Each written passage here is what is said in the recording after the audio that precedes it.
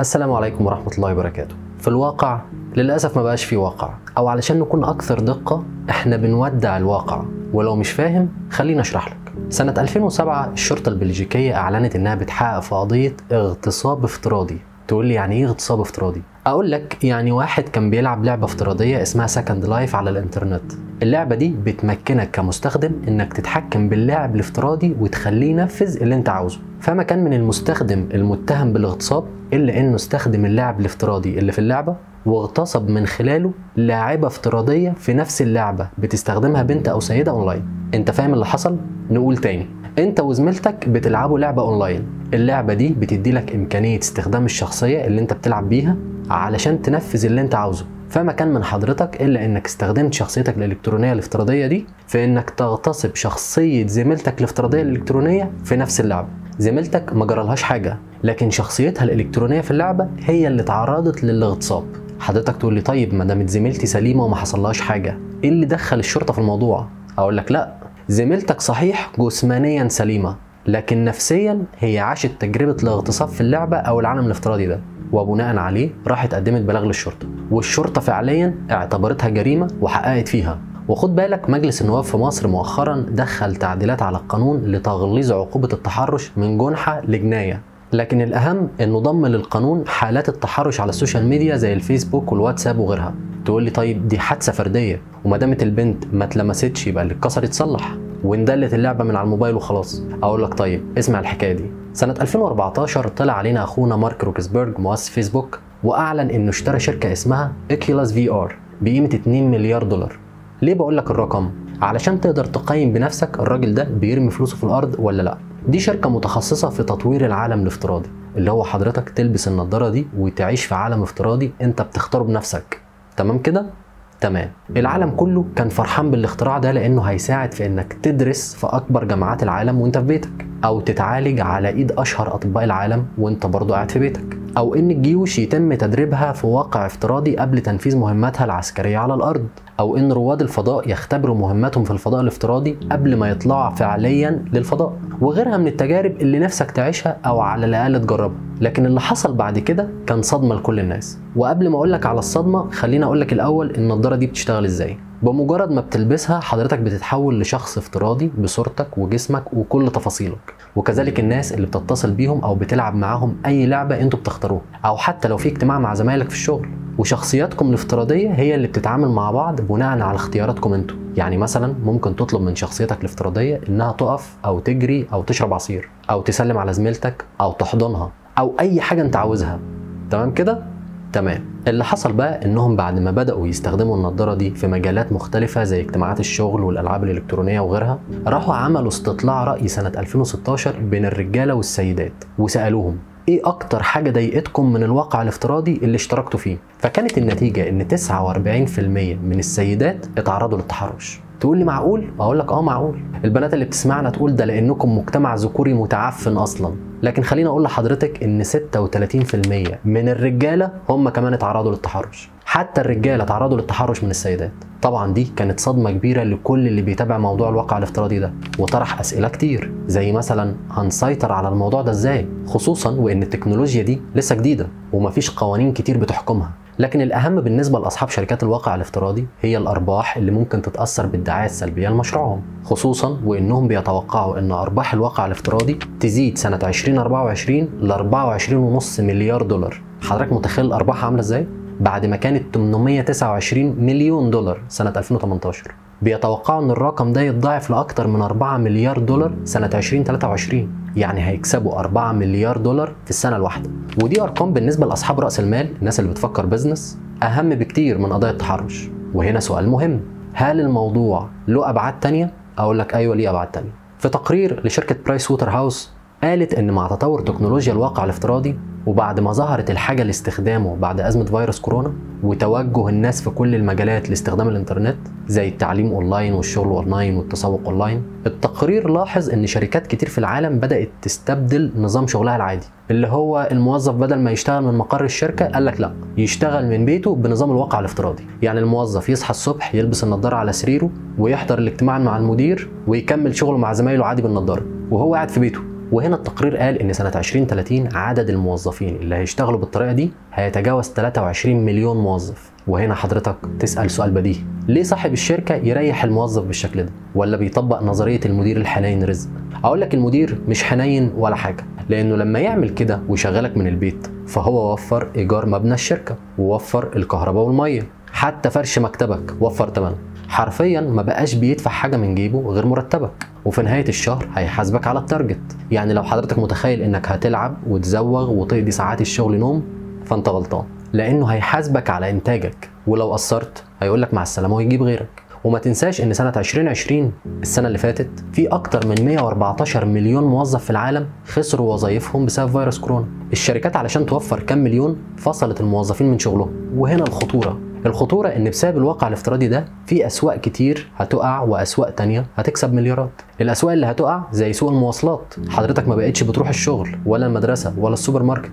كله إلكتروني. حضرتك ما بقتش تنزل من بيتكم أصلا. فالمواصلات مش هتلاقي اللي يركبها. ودي تجربة عشناها فعليا في أزمة كورونا. فمثلا سنة 2020 وبسبب فيروس كورونا سوق رحلات الطيران خسر أكتر من 118 مليار دولار. أكتر من 76% انخفاض في حجز الرحلات الجوية. أكتر من 42% انخفاض في الرحلات التجارية. أكتر من 27% انخفاض في حركة مرور الطيران بشكل عام. وأنا هنا بكلمك عن الطيران اللي مش ناس كتير بتستخدمه. فما بالك بالمواصلات العادية اللي ملايين الناس بتستخدمها. لكن في المقابل في أسواق تانية هتنتعش زي سوق الإلكترونيات. الناس هتشتري أجهزة واقع افتراضي أكتر. هيشتروا أجهزة إلكترونية أكتر. سوق تاني زي سوق المبرمجين. المبرمج ده هيبقى زيه زي العالم بالظبط. الكون واحتياجات البشر هتتمحور حواليه. مؤسسات كتير هتقع زي المستشفيات وأفراد كتير هتزيد ثروتهم زي الأطباء. لأنك بعد ما كنت لما تتعب تروح المستشفى علشان تكشف دلوقتي بتكنولوجيا الواقع الافتراضي هتقدر تبعت خريطة جسمك للطبيب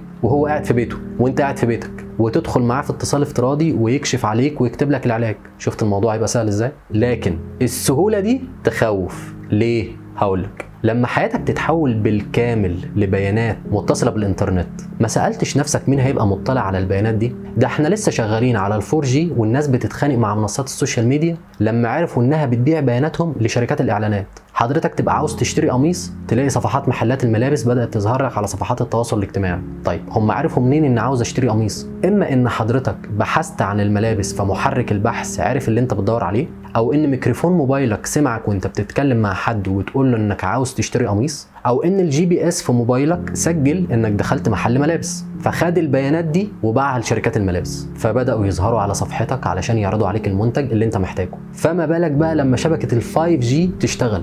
وده بالمناسبة اللي بيفسر ليه أمريكا والصين بيتنافسوا على مين اللي يمتلك عقود تشغيل شبكات ال 5G في العالم. هم عارفين إن ال 5G هي مستقبل جمع البيانات يعني مستقبل التجارة والصناعة والحروب. اللي بيمتلك البيانات النهارده هو اللي بيمتلك النفوذ. وده اللي بيفسر ليه دولة زي مصر بتبني الأوكتاجون أو وزارة الدفاع الجديدة. الأوكتاجون مش مجرد شوية مباني لكن الهدف الأساسي منه هو حماية بيانات الدولة المصرية سواء العسكرية أو المدنية وده شرحناه بالتفصيل في حلقة سر الأوكتاجون. المهم نرجع للواقع الافتراضي. كان في لعبة انتشرت بشكل كبير اسمها بوكيمون. اللعبة عبارة عن إنك بتفتح كاميرا الموبايل وتمشي في الشوارع لحد ما تظهر لك حاجات في الكاميرا تجمعها وكل ما تجمع أكتر كل ما تكسب. لحد ما الناس في أمريكا رفعوا قضايا على الشركة اللي اخترعت اللعبة. ليه يا فندم؟ إيه اللي مزعلك؟ اتضح إن الشركة حطت حاجات من اللي المستخدمين بيدوروا عليها علشان يجمعوها جنب بيوت الناس اللي رفعوا قضايا. يعني حضرتك كل شوية تلاقي زحمة قدام بيتك. خير يا جماعة. يقول لك لا مفيش. ده شوية ناس بيلعبوا بوكيمون قدام بيتك. طبعا الأمريكان اعتبروها اعتداء على خصوصيتهم ورفعوا قضايا على الشركة. لدرجة إن في لعبة تانية اسمها Second Life مجموعة من المستخدمين فيها رفعوا قضايا على مستخدمين تانيين. خير يا جماعة تحرش ولا إيه؟ قال لك لا إحنا اتسرقنا. اتسرقتوا إزاي يا جماعة؟ قال لك في ناس بيلعبوا معانا سرقوا ممتلكاتنا الافتراضية في اللعبه يعني إيه ممتلكات افتراضية؟ هقول لك. أحيانا بعض الألعاب بتدي لك فلوس مقابل الهدايا اللي بتجمعها في اللعبه فلما حد يسرق منك الهدايا اللي انت بتجمعها دي حتى لو افتراضيه فهو فعليا بيسرق منك فلوس. وفعلا سنة 2012 قدم أكتر من 57 ألف مستخدم دعاوى قضائية ضد مستخدمين تانيين بتهمة سرقة ممتلكات افتراضية في لعبة إلكترونية. وخد بالك هنا إحنا بنتكلم عن ألعاب إلكترونية مستحدثة يعني لسه مخترعينها قريب. فممكن ما يكونش في قوانين تنظمها أو تحكمها أصلا. وبالتالي أنت محتاج تسن وتشرع قوانين جديدة الأول علشان تقدر تفصل في القضايا دي. موضوع كبير مش هزار. طيب عاوزك بقى تطبق تكنولوجيا الواقع الافتراضي دي في خيالك على مصر أو الدول العربية وخصوصا على منصات زي تيك توك ولايكي وغيرها. تخيل معايا كده إن في حد بنضاره الواقع الافتراضي دي يقدر يبقى موجود مع بنتك في أوضتها. إيه اللي ممكن يحصل لبناتنا وولادنا ومجتمعنا بشكل عام؟ خلوا بالكم من ولادكم وبناتكم من التطور التكنولوجي الرهيب اللي مش حاسين بيه. استفيدوا من إيجابياته لكن اوعوا تنسوا سلبياته. واوعوا تخدعوا نفسكم بأنه لسه بعيد أو صعب يتحقق. لازم من دلوقتي تستعد للمستقبل ما تعرفش عنه حاجة. طيب هتستعد له إزاي وأنت ما تعرفش عنه حاجة؟ ما أنا حكيت لك أهو اللي هيحصل في المستقبل. دوري أنبهك للي ممكن ما تكونش شايفه ودورك أنت إنك تستعد له. لو استفدت من الحلقة ادعمنا في نشرها. ولو ما استفدتش بنعتذر لك جدا على وقتك وبإذن الله نضاعف من جهدنا الحلقات الجاية. أشوفكم الحلقة الجاية إن شاء الله.